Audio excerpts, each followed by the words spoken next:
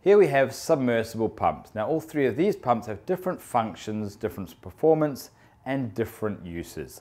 This pump, the D sub 1200, is ideal for high volume and high pressure requirements. Therefore use in your home, use for irrigation system, putting inside a Jojo tank and submerging it into the water. This pump is ideal for a high volume, low pressure of clean water ideal for emptying out pools and ponds where the water is clean and there's not going to be any damage to the pump. The dirty water pump is ideal for larger particle size up to 32 millimeters and possibly 38 millimeters and ideal for flood areas and storm damage areas where you want to get that water out quickly. There's lots of contamination in that water and you want to obviously keep your pump protected.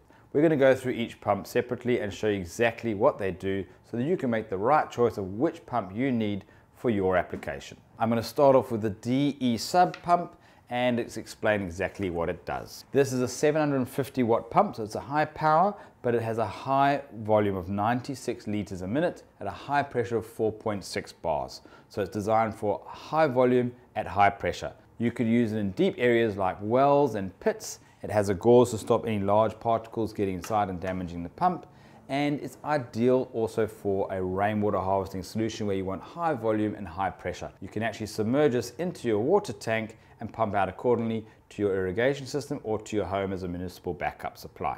It has auto switching so it turns itself on and off as you open and close the tap. It picks up if it's going to run dry so it protects the pump so you're not going to damage the pump.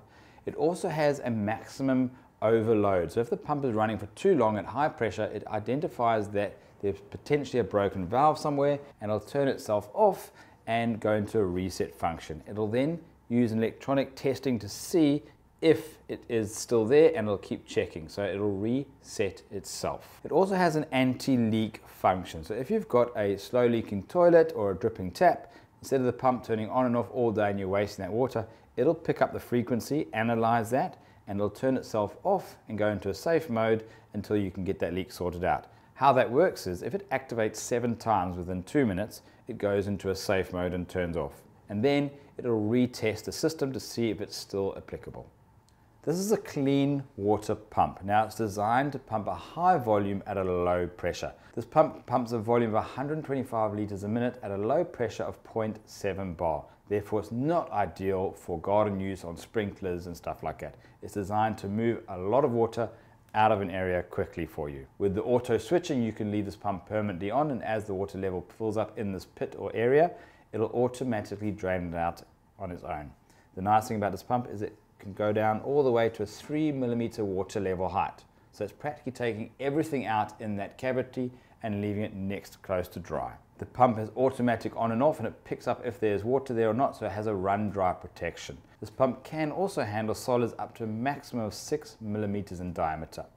It has an automatic function and it also has a manual function so you can override the on-off auto switching and have it permanently on if you wanted to. This is the DDW pump. It's a dirty water pump. What does that mean? It's designed to pump dirty water with particle sizes up to 32 millimeters.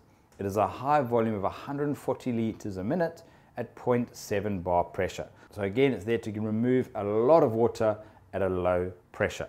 It's ideal for flood zones, for slurry pits, and wherever there's a dirty amount of water which potentially could damage the pump, rather use a dirty water pump.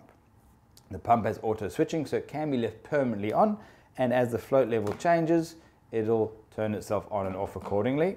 You can adjust the height, you can leave it into manual mode, so hold it up to the top here,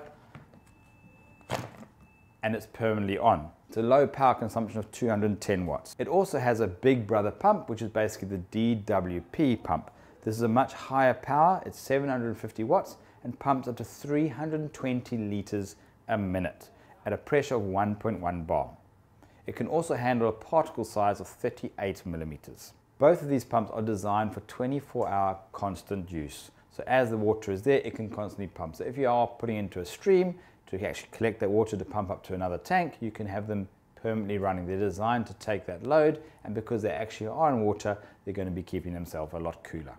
In summarizing these three pumps, this pump, the D sub 1200, is ideal for high volume and high pressure requirements. Therefore, use in your home, use for irrigation system, putting inside a Jojo tank and submerging it into the water. This pump is ideal for a high volume, low pressure of clean water. Ideal for emptying out pools and ponds where the water is clean and there's not going to be any damage to the pump. The dirty water pump is ideal for larger particle size up to 32 millimeters and possibly 38 millimeters and ideal for flood areas and storm damage areas where you want to get that water out quickly. There's lots of contamination in that water and you want to obviously keep your pump protected. If this product information was useful, like it, share it, and you can subscribe to our channel.